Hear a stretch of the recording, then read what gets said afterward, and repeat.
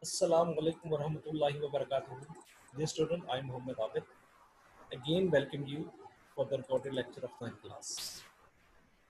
Dear students, we have finished translation of lesson number two, and I believe you must have understood. And we have completed the possible question which can be asked within the text. वो question भी हम खत्म कर चुके हैं जो कि पूछे जा सकते हैं।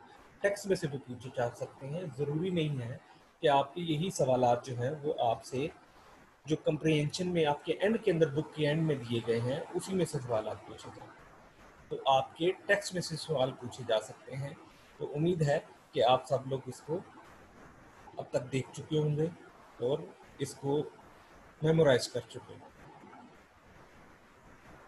आज हम एक्सरसाइज का आगाज़ करेंगे। एक्सरसाइज शुरू करने से पहले हम दोबारा इसको देख लेते हैं रिव्यू कर लेते हैं कि जो अभी टेक्स्ट हम पढ़ चुके हैं, उसके अंदर हमने क्या सीखा है? उसके अंदर हमें किस चीज़ के बारे में बताया गया है? जे स्टूडेंट्स जैसा कि पेट्रियाटिज्म के बारे में पढ़ रहे हैं तो पेट्रियाटिज्म एक ऐसा जज्बा है जो कि हर इंसान के अंदर मौजूद होता है। जो भी उस मुल्क का बाशिंदा है, उसके अंदर मौजूद होता है। अपने मुल्क के लिए, अपने मुल्क के लिए कुछ भी करने के लिए वो तैयार रहता है। और यही डेफिनेशन हमें इस लेसन के शुरू के अंदर दी गई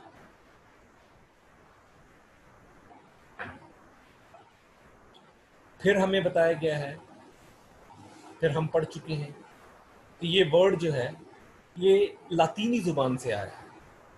लातीनी ज़ुबान के अंदर इसको पेट्रियोटा कहते हैं। और पेट्रियोटा का मतलब क्या है? पेट्रियोटा का मतलब है कि देहात का आदमी, आम आदमी। और इसको एक बड़ी काबिल सतश क्वालिटी खसूसियत जो है वो इसको माना जाता है। फिर हम पैराग्राफ नंबर टू के अंदर आए। तो पैराग्राफ नंबर टू के अंदर और हमें ज़्यादा जो है वो मिलती है कि वही इंसान जो कि अपने मुल्क से मोहब्बत करता है। तो उसके मुल्क की मोहब्बत को डिफरेंट तरीके से बयान किया गया है। तो वो उसकी सालमियत के लिए, उसकी इज़्ज़त के लिए, उसकी तकरीम के लिए, किसी किस्म का कोई समझौता वो नहीं करता और वो कर भी नहीं पाता। क्यों नहीं कर पाता कि एक उसके अंदर सिर्फ़ जज्बा मौजूद है, वो है पेट्रियाटिज्म का। और पेट्रियाटिज्म ही एक ऐसा जज्बा है जो कि इंसान को अपने मुल्क के बाकी तमाम बातों के ऊपर जो है वो हावी हो जाता है। और वो इंसान कुछ भी नहीं करता सवाए अपने मुल्क से मोहब्बत के लिए। उसके अंदर सिर्फ़ एक मोहब्बत का जज्बा ही पनपता है। फिर हमें नेक्स्ट पैराग्राफ के अंदर पैराग्राफ नंबर थ्री के अंदर हमें बताया गया है कि कायद जो थे वो सबसे ज़्यादा पेट्रियाट थे। वो हमारे पाकिस्तान के बानी भी हैं। वो सबसे ज़्यादा पेट्रियाट थे। सब कॉन्टिनेंट के लिए आ, उनकी खदमात जो हैं मुसलमानों के लिए ख़ास तौर पे आप सबके सामने हैं। उन्होंने मुसलमानों को प्रोटेक्ट करने के लिए मुसलमानों को उनके तमाम वैल्यूज़ को रवायात को कल्चर को ट्रेडिशन को महफूज करने के लिए मुसलमानों के लिए एक अलहदा मुल्क का जद्दोजहद शुरू की। और उनके गोल्डन वर्ड्स जो यहाँ पर कोट किए गए हैं we must develop sense of patriotism which galvanizes us all into one united and strong nation. The spirit of patriotism makes us alert of foreign invasion. एक और क्वालिटी हमें जो बताई गई है, वो हमें बताई गई है कि अगर कोई बैरूनी हम अपने मुल्क के लिए तो मोहब्बत का जज्बा रखते ही रखते हैं, लेकिन ये मोहब्बत का जज्बा रखने के साथ साथ अगर हम देखें तो अगर कोई मुल्क हमारे ऊपर हमला आवर हो जाए, या उस तरह, उसकी इस तरह की कुछ साजिश हमारे खिलाफ कर रहे तो हमें कौन सा जज्बा जो है वो अपने मुल्क की दिफा के लिए महफूज करता है, दिफा के लिए मजबूर करता है? वो एक पेट्रियाटिज्म ही का जज्बा है, जो कि हमें मजबूर करता है, हमें उभारता है कि हम अपने मुल्क का दिफा करें, अपने मुल्क की सरहदों का दिफा करें। फिर इसको और ज़्यादा एक्सप्लेन करने के लिए पाकिस्तान का जो है वो हवाला दिया दिया गया है। पाकिस्तान की तीन जंगों का हवाला दिया गया है। उन्नीस सौ पैंसठ के अंदर, उन्नीस सौ इकहत्तर के अंदर और कारगिल की जंग के अंदर हमारे मुल्क के जो फौजी थे, फौजियों के साथ साथ आम लोग भी जो हैं, वो भी अपने मुल्क के दिफा के लिए तैयार रहते हैं। लेकिन हमारे यहाँ पे, क्योंकि फ्रंट लाइन के ऊपर फौजी थे तो उन फौजियों ने अपनी जान का नजराना पेश करते हुए, इस मुल्क के बेटों ने अपनी जान का नजराना पेश करते हुए, इस मुल्क की हिफाजत के लिए अपनी जिंदगियाँ जो थी, वो कुर्बान की और शहादत का जज्बा। तो फिर उस मुल्क ने उनके इसी जज्बे को, उनके इसी जज्बे को सराहने के लिए, उनकी इसी जज्बे को कबूल करते हुए, माना भी और उनको जो था, सबसे बड़ा मिलिट्री आवाज़, मिलिट्री एजाज निशान हैदर दिया गया। फिर हम अगर थोड़ा सा और आगे बढ़े, इस शॉर्ट लेसन के अंदर जो आखिरी पैराग्राफ है, आखिरी पैराग्राफ के अंदर हमें जो है वो एफ़ डब्ल्यू स्कॉट्स की वर्डिंग जो है पेट्रियाटिज्म के बारे में मिलती है। ये था जी आपका लेसन जिसको अभी तक हम पढ़ चुके हैं और उम्मीद है आप डिफ़िकल्ट वर्ड्स को अंडरलाइन करके आप उनके डिफ़िकल्ट वर्ड्स को याद कर चुके होंगे और आप ट्रांसलेशन को भी भरपूर समझ चुके होंगे। अब हम बढ़ते हैं एक्सरसाइज की तरफ़। सबसे ज़्यादा कंप्रीहेंशन क्वेश्चन की तरफ़ हम मूव करते हैं। How will you define patriotism इस पूरे लेसन के दौरान में बार बार आपको एक ही बात बताई गई है। बार बार एक ही चीज़ आपको बताई गई है कि पैट्रियाटिज्म क्या है? पैट्रियाटिज्म की डेफिनेशन क्या है? पैट्रियाटिज्म का मतलब क्या है? तो अगर आप पहले पैराग्राफ की तरफ़ आए तो पहले पैराग्राफ के अंदर ही इसका जवाब जो है वो दिया गया है। Patriotism mean love for motherland Patriotism means love for motherland or devotion to one's country. A patriot loves his country and is willing to sacrifice when the need arises. This is the answer. अब हम question number to की तरफ़ move करते हैं। Question number two what are the quality qualities of a patriot मुहब्बुल वतन की क्या खसूसियात होती हैं? इसके बहुत से जवाब हो सकते हैं। जनरल टाइप ऑफ़ क्वेश्चन है।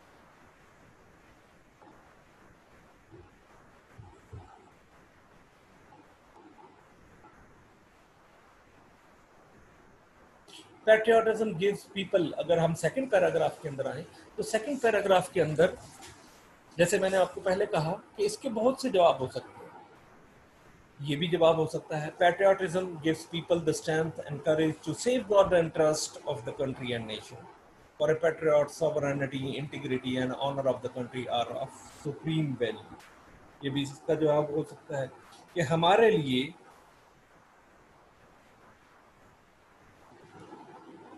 मुल्क की सालमियत, हाकमियत और इसकी इज़्ज़त जो है, उससे बढ़ के रो और कोई चीज़ नहीं।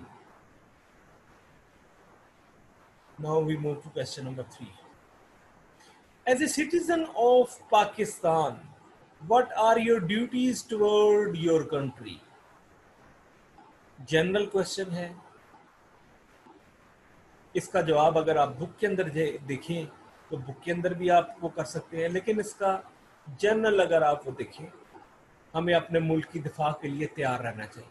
हमें अपने मुल्क के लिए हर वो अच्छी चीज़ करनी चाहिए, जो कि हमारे मुल्क के लिए बेहतर है, हमारे मुल्क के मफाद के लिए अच्छी है। हमें अपनी यहाँ तक के जान का नजराना भी पेश करने से गुरेज नहीं करना चाहिए, जैसे कि हमारे बहादुर सिपाहियों ने इस चीज़ का अमली मुजाहरा किया है। Now we move to question number four. What makes us stay alert in the wake of foreign invasion? हमें क्या चीज़ कब्जे के लिए बैरूनी हमले से पहले चौकस करती है हमें क्या चीज़ चौकस करती है अगर बैरूनी हमला, अगर दुश्मन का हमला हो जाए definitely definitely patriotism इसका जवाब यहाँ पर the spirit of patriotism makes us stay alert in case of foreign invasion. This is the answer given in paragraph number paragraph number 4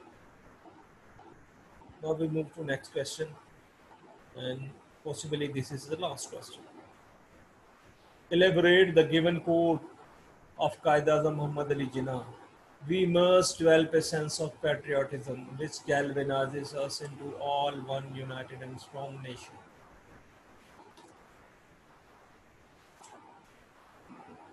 आप कायद आज़म के कोल की क्या तशरी करें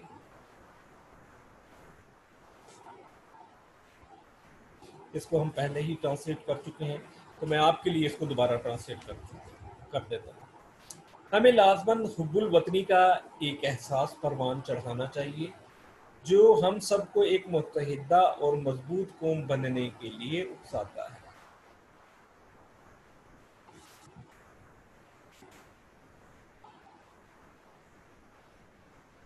तो पेट्रियाटिज्म ही का जज्बा है। हमारे अंदर अपने मुल्क की खिदमत का जज्बा पैदा करता है, मोहब्बत पैदा करता है। हमें आपस में मिलाए रखता है। हमें आपस के अंदर इकट्ठा रखता है। और जब हम इकट्ठे होंगे, जब हम यूनाइटेड होंगे तो यही हमारी यूनियन जो है, वो एक ताकतवर कौम बनकर सामने आएगी। Now we move to question number next question, that is, write the contextual and dictionary meaning of the following words. Let's start year number one. पहला लफ्ज है आपका कंजर्वेशन कंजर्वेशन मीन महफूज. इंस्टेंस फॉर एग्ज़ाम्पल मिसाल के तौर पे. Fidelity fidelity mean वफादारी loyalty faithfulness shield defence reward price award सिला now we move to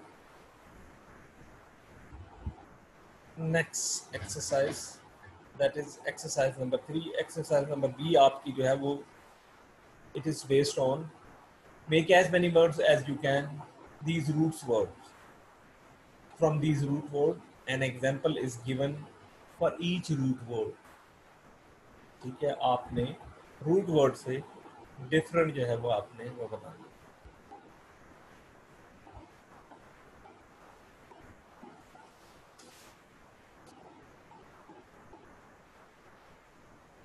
exercise number C. Use the following words in sentences. आप, आपको अल्फाज दिए गए हैं, इनको आपने सेंटेंसेस के अंदर इस्तेमाल करना है। Sacrifice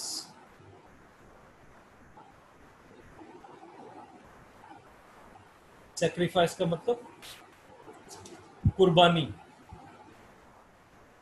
offering one's life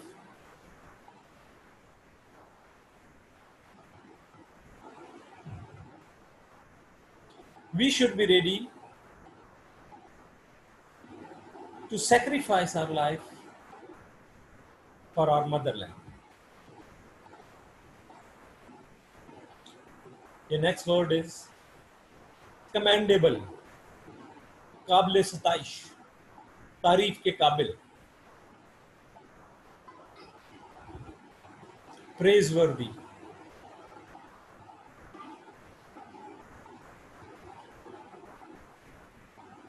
Your work is commendable.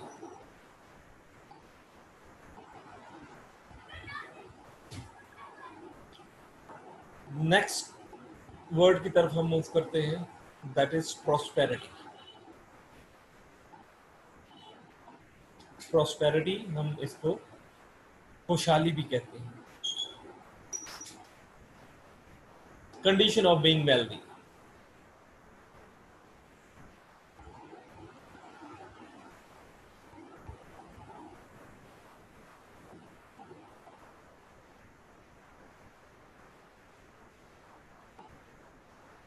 We should take part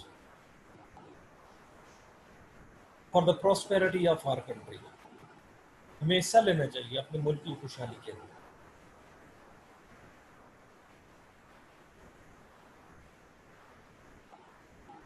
invasion. Attack to occupy हमला करना। कब्जे के लिए हमला करना।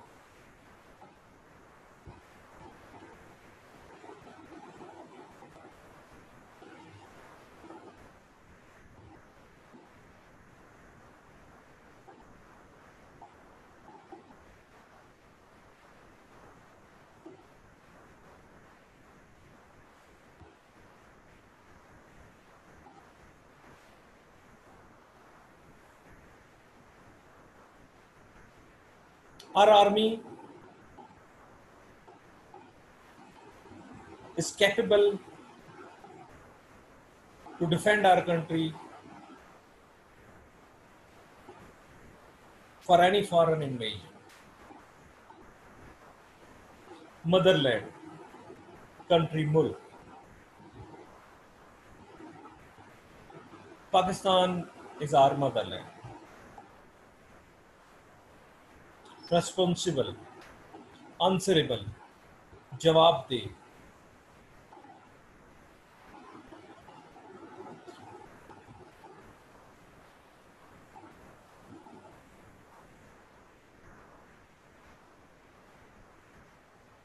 You are responsible for your failure.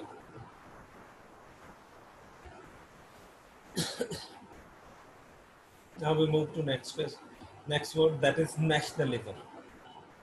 जिसको हम कौमियत भी कहते हैं।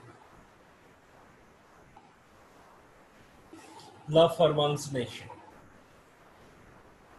nationalism is a great force this student exercise he we have completed now we move to next exercise this exercise is based on modal work modal work के बारे में आपको मैं थोड़ी सी उनके बारे में आपको बता दूँ।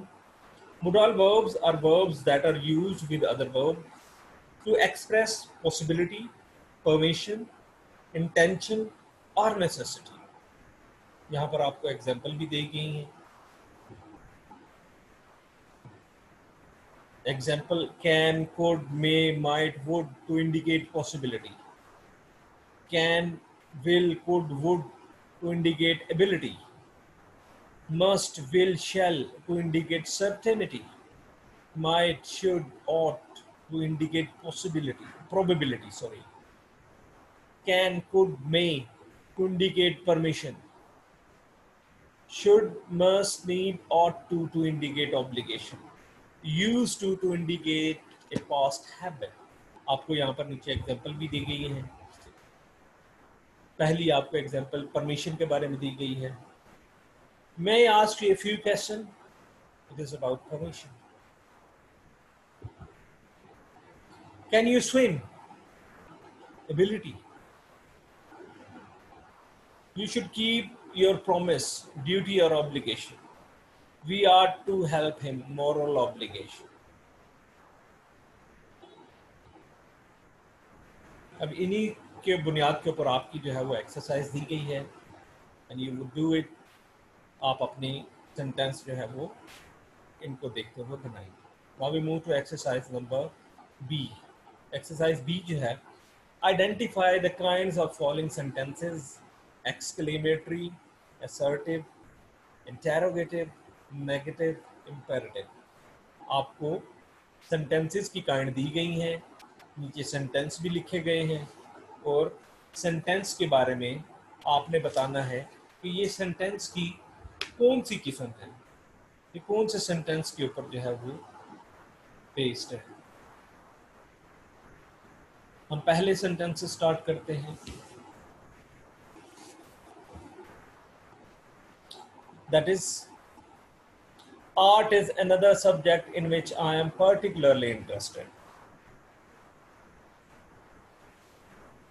it is assertive sentence or statement. Next sentence What a beautiful painting. It is exclamatory sentence. Teach him to learn. Imperative sentence. Order है इसमें जिसको हम हुक्मिया जुमले भी कहते हैं next question how would I know how would I know सवाल है सवाल पूछा गया है तो ये सेंटेंस की कौन सी किस्म है इट इज़ इंटेरोगेटिव सेंटेंस सवालिया जुमले जिनको हम कहते हैं She did not make a false statement. She did not make a false statement. That is negative sentence. Dear student आपकी एक्सरसाइज नंबर टू ख़त्म हो चुकी है। उम्मीद है आप इससे भरपूर फ़ायदा उठाएँगे और आप अपनी तालीमी सरगर्मियों को जारी रखें खुदा हाफिज़।